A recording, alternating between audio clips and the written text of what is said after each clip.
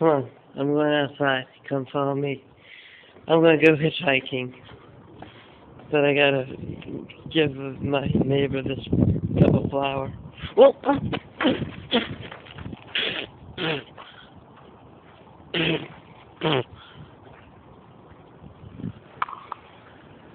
Who's gonna pick me up now? I look like a damn Pillsbury doughboy.